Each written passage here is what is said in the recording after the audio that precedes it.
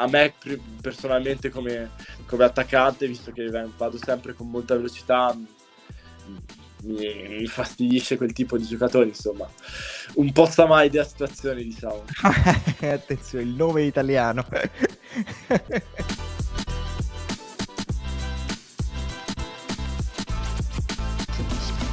Torna l'extra player, torna il podcast eh, della pallamano italiana e soprattutto della pallamano azzurra. Nuovo extra player questa settimana, ve l'abbiamo svelato sul canale Instagram della federazione e voi gli avete rivolto tante domande e allora non perdiamo tempo. In collegamento dalla Germania abbiamo il centrale azzurro Simone Vengon. Ciao Simo.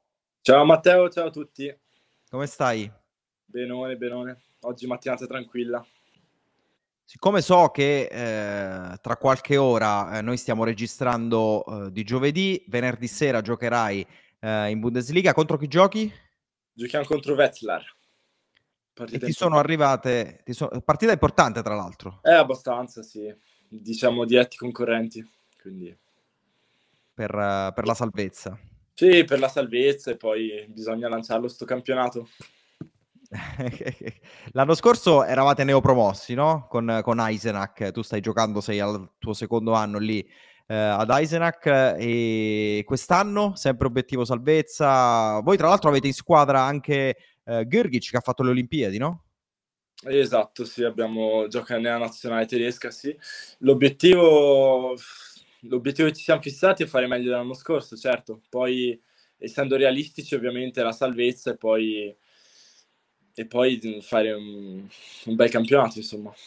C'è, c'è, tanta curiosità da parte eh, dei fan italiani eh, che ci seguono sui social rispetto a questa tua esperienza eh, in Bundesliga. Tu sei al secondo anno in Bundesliga e così eh, leggendo eh, vale la pena ricordare questo dato perché tu e Leo Prantler l'anno scorso avete giocato in Bundesliga e siete arrivati temporalmente rispetto agli azzurri dopo Skatar che è stato il primo in assoluto e dopo Mimo Ebner con un piccolo distinguo che voi siete i primi due di scuola completamente eh, italiana da un punto di vista pallamanistico e questo è sicuramente un dato molto interessante oltre che essere probabilmente un po' un simbolo della new generation eh, della, della pallamano italiana che ci ha portato anche tra le altre cose ai campionati mondiali. Tu, come anche eh, tuo fratello Marco, perché poi c'è questa particolarità che noi abbiamo i gemelli Mengon. Io ho imparato ormai a riconoscervi telecronaca, non vi faccio più problemi, però c'è sempre la particolarità dei gemelli che è sempre una cosa particolare. Di quanto vi sentite, visto che adesso siete uno in Germania e l'altro in Francia?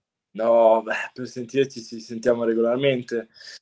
Mm, direi quasi ogni giorno, alla fine una chiacchierata, dieci minuti, non è che poi abbiamo questo rapporto, insomma e così. Però vi siete oh. abituati a, a, stare uno lontano dall'altro? Sì, abbiamo già fatto, beh, per me era tre anni in Francia dove eravamo separati, quindi già non avendo la famiglia e insomma non avendo nessuno là tranne amici, compagni di squadra, ti porta a sentirti più spesso alla fine con i tuoi familiari, nel mio caso con mio fratello anche in particolare. Ma parlate di pallamano quando vi sentite o siete, eh, avete il rifiuto quasi, vivendoci no. sempre in mezzo? No, beh, ovviamente pallamano, facciamo pallamano tutti i giorni, è il nostro quotidiano, quindi ovviamente ci capita di parlare di pallamano, però cerchiamo anche di, di svagare un po', di parlare un po' di tutto, de, della vita in generale, insomma. Tipo di fidanzate, visto che Marco, che vuole fare lo spiritoso, sui social ha chiesto se ti sei fatto la fidanzata in Germania, ah, la sei trovata. Spiritoso. Te no. la sei trovata questa fidanzata in Germania? No, non è il caso, non è il caso. Eh, non è il Libero, caso. Libero. Ma com'è questo posto? È un paesino? È... Eh, Eisenach. No, è un paesino più, più che altro piccolino. C'è Erfurt a un'ora di distanza che è abbastanza, abbastanza grande, dove anche tra l'altro qua vicino gioca anche Niederwieser, se no dopo non c'è tanto tanto nei, nei dintorni. Quindi allenamento e... Pallamano, pallamano e pallamano. Vabbè, però immagino che tu sia abbastanza eh, a tuo agio. E quando vi rivedete con Marco, eh, non lo so, c'è una cosa che vi piace fare, cose che, che fare, una cosa che magari vi lega, che vi tiene uniti, che facevate da bambini. Eh, immagino allenarvi anche senza pallone, no. fare esercizio fisico, però no, no, se ci sono delle cose magari che, soprattutto adesso che vivete uno lontano dall'altro vi piace fare poi quando siete in Trentino, quando siete a casa? Andare a fare le mangiatone, i cheat meal, come si dice? Sushi o no, no dai. Tra, uh, è differente quando ci vediamo in nazionale, ovviamente il, l'ambito è sempre pallamano, quindi sempre focus pallamano e tutto. Quando invece durante le vacanze oppure che lui è a pausa, per esempio, era, è venuto qua a Eisenach una settimana e mezzo fa, abbiamo, abbiamo, passato un po' di tempo assieme, giocato a carte, le solite robe, insomma, però... A, a proposito di carte, Arcieri chiede quanto ruba tuo fratello da 1 a 10? Uh, Arcieri e Nocelli non sanno perdere, incredibile. e anche le fuori. Uh, abbiamo qualche esemplare che, in nazionale che gioca a carte che prova veramente tutti i modi per, per barare, incredibile. Ma perché si, fate, siete in squadre, tu e tuo fratello siete assieme? Sì, giochiamo a 3 set, briscola, scopa, due contro due, sì. E ovviamente chi perde, come si dice, move perdon, che non perdono bene, insomma. E quindi... ah, ok. E, e Arcieri perde male, quindi, di solito? Arcieri perde sempre e male. Molto bene. E, allora, dicevamo della Bundesliga. E quindi dicevamo, siccome questa è la cosa su cui sono arrivate le maggiori domande, c'è cioè maggiore, eh, maggiore curiosità. Intanto, come ti sei ritrovato, visto che tu eh, e tuo fratello nascete sportivamente nel Pressano, quello che ha vinto, ah, c'è stato un momento in cui vincevate tutti gli scudetti giovanili, eh, da, dall'under 12, non lo so, fino a, fino a quando non avete finito le categorie, poi vi vedono, andate nell'Accademia del Montpellier, e, e, da lì avete poi iniziato un percorso anche diverso l'uno con, dall'altro. Anche tu però eri in Francia come lui.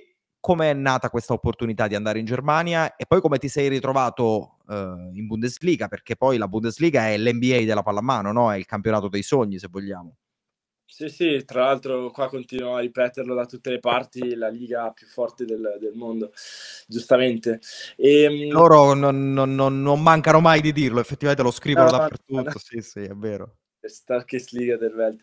No, come mi sono ritrovato qua a Eisenach è una, è una bella storia in verità, perché mh, sette anni fa allora, quando abbiamo fatto i provini a Montpellier, lo stesso anno io e mio fratello avevamo fatto un provino in Germania anche, in una squadra in una squadra due ore, due ore da qua.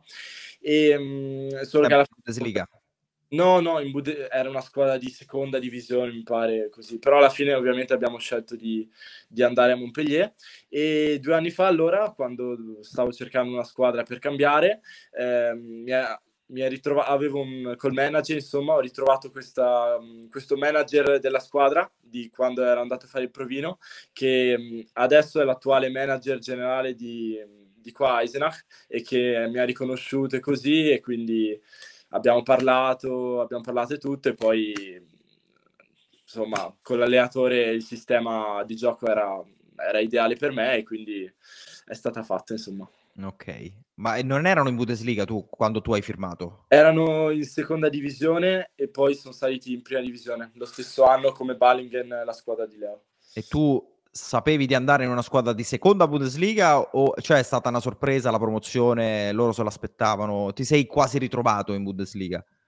Uh, sì e no, perché ho firmato, cioè non abbastanza presto, però sarà stato febbraio-marzo e erano, erano secondi in quel, in quel, momento, quindi sarebbero, sarebbero saliti, però il campionato era ancora lungo e quindi non avevo certezza, però il loro obiettivo era quello e e alla fine colpo di culo, diciamo. Vabbè, certo. Fatto in Bundesliga.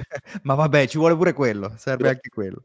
E, ehm, come si svolge la giornata di un giocatore di Bundesliga? Vogliono tutti sapere questa cosa qui, cioè che cosa fai, o, o, comunque la settimana, perché magari poi la giornata, ecco, questa è una giornata in cui stamattina fai il podcast e poi stasera ti alleni, immagino, però in generale la settimana di un, di un giocatore Bundes- del campionato di pallamano più importante del mondo. Beh, le settimane variano molto perché possiamo giocare dal lunedì alla domenica veramente tutti i giorni, quindi ovviamente se giochi il venerdì magari hai il weekend libero, se giochi la domenica è altro differente così, però in generale abbiamo quasi sempre due allenamenti al giorno, che sia pallamano e palestra la mattina o palestra la mattina e poi sempre pallamano, pallamano il pomeriggio. E poi, se no, con, soprattutto in questa squadra abbiamo molte riunioni, video, molte per la testa, per la mentalità e così. E, e, e quindi ci prende anche questo molto tempo. E poi la sera cerchiamo due o tre volte magari la settimana, ci troviamo con quelli della squadra, andiamo a mangiare fuori e stiamo un po' in squadra. Però il, il tempo libero ce l'abbiamo un po' la sera, diciamo. Ok, ok.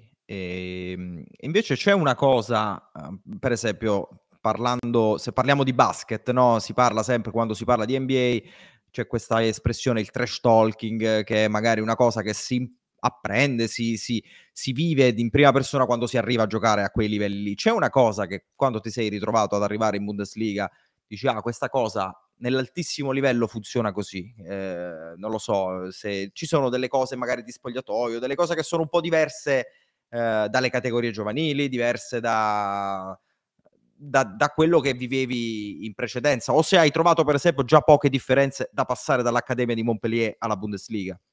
No, è totalmente differente. Uno perché l'Accademia di Montpellier era più che altro fatta per migliorarti come giocatore e come, come individuo, insomma.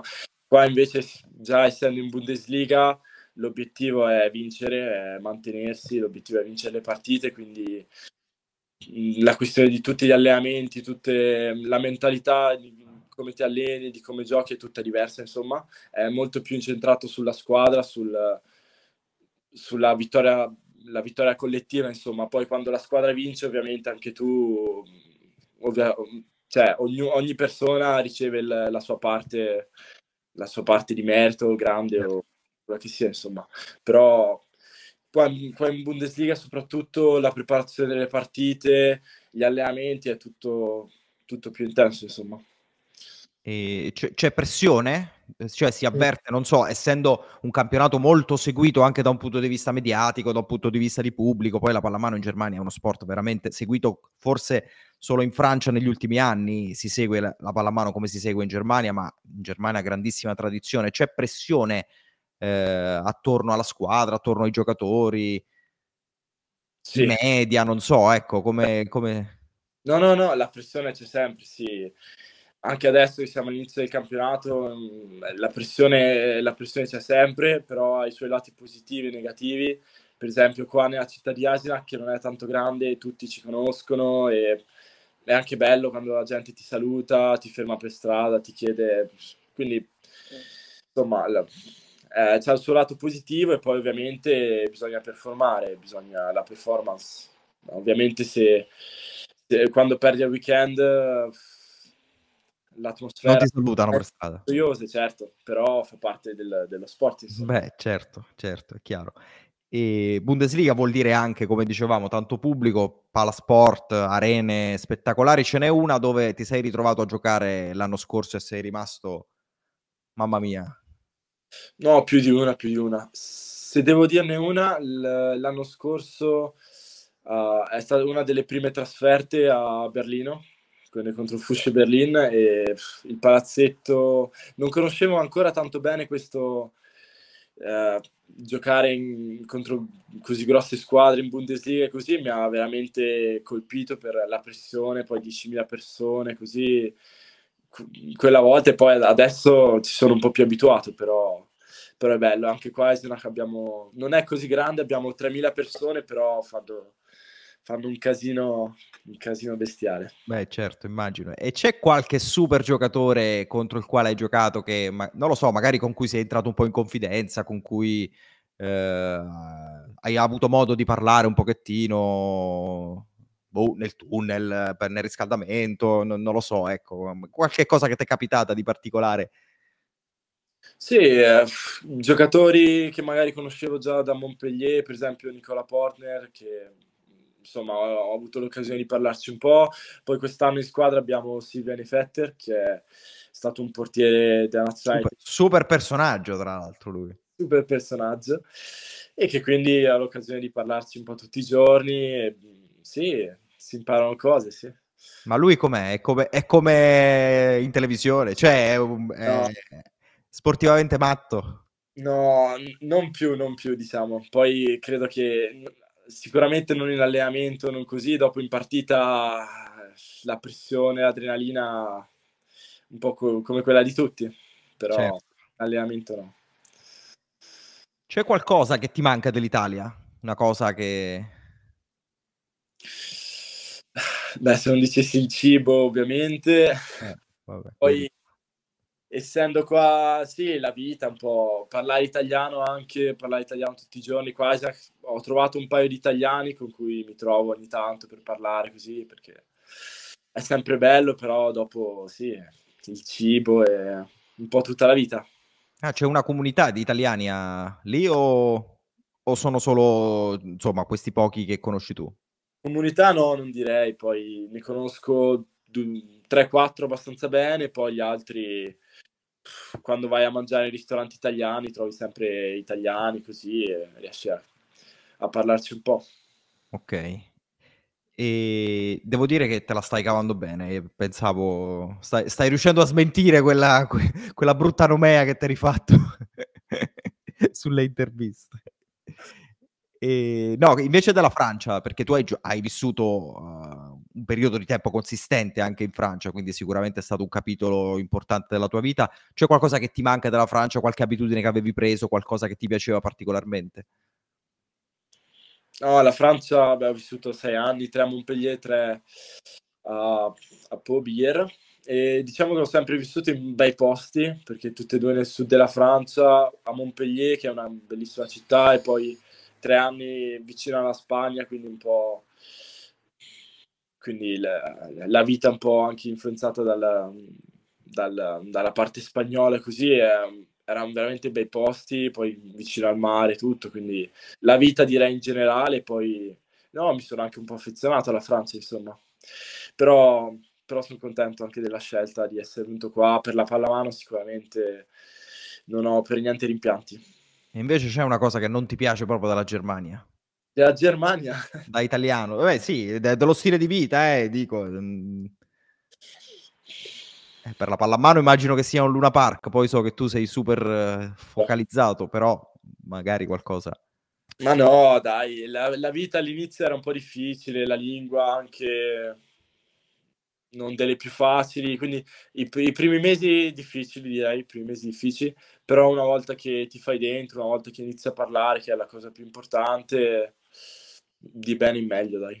Perché poi tra l'altro chi non conosce, sai, tu sei di Trento, chi non è del nord Italia magari, quindi non conosce bene le vostre zone, dice ah questo è di Trento, tedesco, e invece no.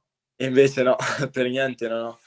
Poi, no, è vero che studiamo tedesco a scuola, però dopo, per esempio, ho fatto sei anni in Francia e avevo praticamente tutto dimenticato, quindi... Quindi no, abbiamo un piccolo vantaggio, quello sì, però non siamo... Certo. Esatto. E con le interviste in tedesco? Eh, ne ho fatta già qualcuna l'anno scorso. Pensa tu. Quest'anno, quest'anno ancora no, ma arriveranno. Forse più in tedesco che in italiano. Eh, in tutte e due. Perché non ne vuoi mai fare in nazionale. e dai fan ti chiedono se ti saresti mai, eh, se avresti mai immaginato di ritrovarti dove sei adesso, eh, ecco appunto sempre in Bundesliga, sempre in questo, ma, ma, non solo in Bundesliga, poi anche ai mondiali con la nazionale, perché anche quello è, è, è una cosa importante. Beh, le ambizioni, le ambizioni sì, ce, ce le ho sempre avute, ognuno deve avere le proprie ambizioni, insomma, però essendo concreto no, non avevo, non avevo mai immaginato di essere qua in Bundesliga a giocare con... Era un po' un, un, po un sogno, sì, un sogno di carriera, un sogno di vita, uguale con la nazionale, il nostro, era il nostro obiettivo, però eh, sapevamo che era difficile tutto, abbiamo lavorato parecchi anni e alla fine siamo dove siamo ora. Ok, e siccome, ehm, agli occhi un po' sia degli appassionati, ma poi lo posso confermare perché vi ho visti tante volte sia da quando giocate alle giovanili. Tu e tuo fratello siete un po' due, due robottini, nel senso super mentalizzati cioè, sul, sulla pratica sportiva, quindi i primi di arrivare, gli ultimi ad andarsene, eh, defaticamente, tutto quello che c'è da fare, tutto quello che deve fare uno sportivo eh, insomma di, di, di alto livello. Avete un idolo, anzi hai tu, ecco perché stiamo parlando con te, un idolo sportivo non solo nella pallamano, eh, quindi mi riferisco eh, per esempio un grande simbolo da questo punto di vista è stato Kobe Bryant, no? Faccio un esempio, quindi magari qualche simbolo sportivo a cui sei legato da questo, per la dedizione, per, per l'impegno nella pratica sportiva, che va oltre il talento, credo. No, um, un simbolo 1-1 in, gener- in particolare, no, poi mi è, part- mi è capitato di leggere parecchi libri, mi interessa parecchio, tipo Kobe Bryant, LeBron James, uh, di pallamano anche questo l'ala sinistra, Kreshnak del, del Magdeburg, mi è capitato di leggere parecchi libri e quello che, quello che si ritrova sempre è che più, più investi in una, nel, nello sport, più investi nel, nel, nel, lavoro che fai e più, più risultati, più, più risultati hai, più, più possibilità che più possibilità degli altri, insomma, quindi eh, anche per questo un po' che il nostro motto è quello sempre di farli più perché metti le, le possibilità dalla tua parte e, e non avrai rimpianti, insomma. Certo. Bel messaggio. E tu, eh, ecco, dicevamo sempre del fatto che tu e Marco siete cresciuti sportivamente per un lungo tempo assieme, poi c'è questa particolarità che non siete arrivati in nazionale seniores insieme. Forse è stata eh, il primo punto di, no, non di rottura, ma di divisione vostra, dei vostri cammini, nel senso che tu sei arrivato leggermente eh, dopo di lui, forse una stagione dopo, non so, una, più o meno all'incirca. Più o meno sì, poi mh, eh, quelli, quei tre anni che abbiamo fatto a Montpellier abbiamo avuto un po' di infortuni, soprattutto, soprattutto io devo dire, dove per, per un motivo o per l'altro durante la stagione ho avuto tre infortuni, per esempio, e anche per quello probab- cioè, possibilmente, probabilmente che mio fratello è arrivato là prima e poi c'è stato un pezzo dove io c'ero, mio fratello è infortunato, quello fa parte anche della vita degli sportivi, però, però sì, c'è stato questo, questo annetto di differenza. E quando è arrivata poi la chiamata, eh, che sensazione hai provato? Questa è una domanda che ti rivolgono da, dagli appassionati. Eh, eh, il sentimento di raggiungere un piccolo obiettivo, che non è l'obiettivo finale, ma è uno step che, che, avevo, insomma, che, avevo, che avevo in testa e ovviamente quindi ti dà quel, quel riconoscimento che ti dà ancora più voglia di, di andare avanti, di giocare per la nazionale è sempre stato uno dei momenti migliori nella mia vita di sportivo, insomma. Tra l'altro bello il fatto che poi voi siate, vi siate ritrovati con tutta la generazione dei 2000-2001, quella generazione di cui si, si, è sempre parlato benissimo, quasi tutti in blocco in, uh, in questa nazionale seniors, perché è raro no, che così tanti giocatori di una selezione giovanile riescano ad arrivare poi uniti uh, in nazionale seniors, quindi immagino che anche arrivarci, poi arrivare anche ai mondiali, oltre ovviamente all'aiuto di tutto il resto della squadra, sia una bella sensazione. Sì, ovvio, eh, partiva, tutto da quando avevamo 14-16 anni, poi eh, il, gruppo, il, gruppo, era quello, avevamo un bel gruppo e quindi arrivando a questi risultati con, eh, con alcune, con sempre appunto come hai detto te, abbastanza persone, 5-6, rende ancora il tutto, tutto ancora meglio, insomma, perché sono amici già da, da parecchio tempo e lottiamo insieme, insomma. Avversari di carte. Ah, tra l'altro. Avete fatto uno scherzaccio a Branco Dubnic, che è stato il vostro allenatore. No, lui è montenegrino, quindi battendo sì. il Montenegro. sì, sì, eh, era venuto anche a fare l'intervista, la, la, telecronaca, quando abbiamo giocato a Conversano in casa. No, era contento per noi, poi ovviamente, essendo montenegrino... Voleva vincere, eh beh, certo inevitabile. Tu con chi eri in camera? Con chi sei in camera in nazionale? Con Marco? Uh, può essere, sì. Di solito, di solito. No, la domanda è con chi eri la sera prima, la notte di, della qualificazione, quindi se c'è qualche cosa, sai, se, io non so se, se, avete dormito tanto quella notte, se vi siete detti, se ci sono delle cose magari che, che si possono raccontare, delle sensazioni di, di quella notte lì. Negro? Sì. Ah, in Montenegro con mio fratello, sì, sì che no, ultimamente è vero che di solito era con quelle Luori, ma adesso siamo io e mio fratello di solito. E beh, la notte, come avete già parlato con Jack, non è durato tanto. A luna purtroppo siamo... No, la notte prima ti sto chiedendo, poi la notte dopo. sì. La notte prima ci, si cerca di andare a dormire presto perché dopo si sa che non riesce a dormire subito perché l'adrenalina si inizia già a sentire. Eh insomma, cerchi di parlare, cerchi di parlarne di, di, quello, di, quello, che provi, così, però siamo tutti nella stessa situazione, quindi ci capiamo a vicenda e... e no, la notte, do- la notte, dopo poi a luna si era in pullman. Sì, sì, la notte dopo era corta corta. Quindi... Troppo. Poca possibilità di, di fare grande baldoria, in effetti. Ti dicono pure se vieni a Cassano. No, non vai a Cassano. Per il momento no. Però tifi Pressano, immagino, in Serie A. Sì, sì certo, ovviamente. Ovviamente. Immagino. Allora, eh, adesso siamo arrivati quasi nella parte finale, quindi volevo fare uh, un primo gioco con te, che si intitola Non ho mai. Quindi io ti dico delle cose e tu mi dici se le hai fatte o non le hai fatte. Sono okay. cose pallamanistiche, quindi non... tranne una forse. allora, se hai mai colpito in faccia il portiere. Sì, certo. Partita? L'ultima partita mi è capitato. Sì? sì Chi sì, era il portiere? Um, l'anno scorso giocava uh, a Rene Carlowen, adesso è a, all'Hanover, eh, non mi ricordo il nome adesso. Ok. E se hai mai simulato un fallo, un fallo subito, eh? È difficile nella pallamano simulare. Però magari qualche boh, magari rigore urlando. Accentuare, accentuare magari. Eh, può essere ancora capitato, sì. Ok. Hai, se ti è mai capitato di non ascoltare l'allenatore durante il timeout? Cioè di essere assente? Mm. Beh, un timeout è fatto per quello, quindi in generale si cerca di ascoltare, però no, direi che cerco, cerco ho sempre cercato di ascoltare, insomma. Sei un secchione, Simo. Un secchione. Se hai mai fatto tardi la notte prima di una partita, se mai, ti è mai capitato di arrivare alla partita, anche nelle giovanili, eh, non mi riferisco adesso che sei un professionista, spero di no, spererei di no, però magari... No, qualche volta magari, ma non troppo tardi. Non sono mai andato in serata o roba così, insomma. Confermo, secchione. Se tu e Marco vi siete mai scambiati in qualche occasione?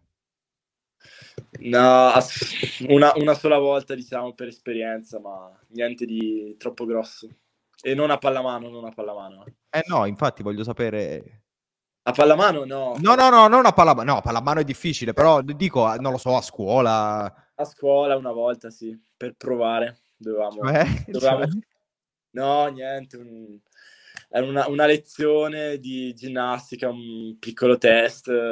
Non ave- io non avevo voglia di farlo, lui l'ha fatto al mio posto e niente, passato liscio come l'olio. Davvero bellissimo sì. questa cosa. Va bene. Ascolta, eh, il tuo best seven ehm, ogni epoca, nel senso che puoi mettere tutto, quindi eh, i tuoi sette dei sogni. Um, allora, devo dire, ho ascoltato quello di Jack e devo dire che mi ritrovo abbastanza in quello là, perché le ali anch'io metterei sicuramente a Balò e uh, anche Gensheimer, Uwe Gensheimer avrei messo.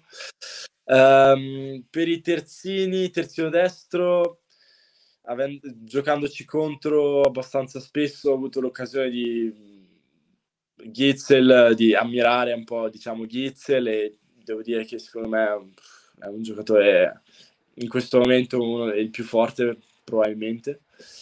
Terzino sinistro avrei messo um, il tipico terzino tiratore, quello col, col, miglior braccio, che ho sentito che tu non l'avresti messo, Michael Hansen. Ok. devo dire che il Michael Hansen della Danimarca più che altro, non, non del Paris, della Danimarca soprattutto.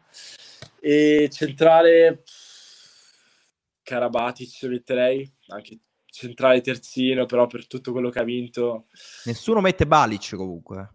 Eh, ma anche per me non è stata un po' la mia epoca, devo dire che certo. ho iniziato a guardare quando avevo 14 anni, quindi 2014, quel che era. Quindi... Era già verso la fine. È passato, sì, invece è proprio l'era Karabatic. Uh, pivot uh, tra Fabregas e Aghina Galde avrei messo anch'io quei due e in porta Obeye magari. Ok. Ah, un altro francese, esatto. Eh, ci sta. Invece mi sono dimenticato di chiederti prima, stava quando parlavamo di Bundesliga, però era interessante questa. Il giocatore, però andiamo anche oltre la Bundesliga, il giocatore più bastardo contro cui ti è capitato di giocare, nel senso quello più rognoso, quello più fastidioso, quello che quando ci devi giocare contro dici mamma mia, questo di nuovo. Un giocatore in particolare? Sì, fastidioso, non lo so, uno perché è un difensore che mena come un, un animale o qualcuno che non riesce a... quando sei in difesa tu è, è ingestibile, dici questo non lo prendo mai, come mai? Che fastidio. No, no, più che altro i difensori che a me come giocatore non piacciono sono quelli un po' alla spagnola, quelli che prendono e cercano sempre di fingere il, lo sfondamento, quelle robe là che adesso devo dire sta venendo sanzionato sempre, sempre di più, soprattutto anche qua in Bundesliga, quando fingi ti danno subito due minuti, però quei giocatori là, per esempio questo weekend giochiamo contro Vezza, che c'è un giocatore che fa anche fa quello e a me personalmente come, come attaccante, visto che vado sempre con molta velocità, mi, fastidisce quel tipo di giocatori, insomma, un po' sa mai della situazione, diciamo. Attenzione, il nome italiano. no. Salutiamo Possa Mai, grande Possa. Grande Possa. Numero uno. Va bene, Simo, siamo arrivati alla fine, ne rimane una che è la trasferta da dimenticare, anche questa l'abbiamo inaugurata con Jack la settimana scorsa, quindi anche qui puoi attingere a tutte le trasferte della tua carriera, fino a Pressano, fino all'Under 12 però la trasferta che proprio hai odiato. Trasferta eh, in Francia, è stato in Francia sicuramente, essendo nel sud-ovest, sud-ovest della Francia, ehm, abbiamo, avevamo per esempio 4-5 squadre, tipo 4-5 trasferte all'anno dove dovevamo, eh, dovevamo 12 ore di bus. Eh, di bus per arrivare, per arrivare su verso dove giocava mio fratello, a Sarburgo, Strasburgo, così. E quella volta mi ricordo che il bus non c'era, siamo dovuti partire in minibus e, e in minibus 12 ore, eh, certo. soprattutto nel ritorno dopo la partita. Si fanno... Vinta o persa che devo... Eh, persa devi comunque rientrare, quindi... Eh beh, certo. quindi ecco, direi più che altro la lontananza. Bene. Grazie Simo, è stato un piacere. Un piacere, ciao Matteo e ciao a tutti. Grazie a Simone Mengonne, grazie a voi che ci avete seguito. L'extra player torna la prossima settimana. L'extra player di questa settimana è stato Simone Mengon che ringraziamo e buona pallamano a tutti. Ciao.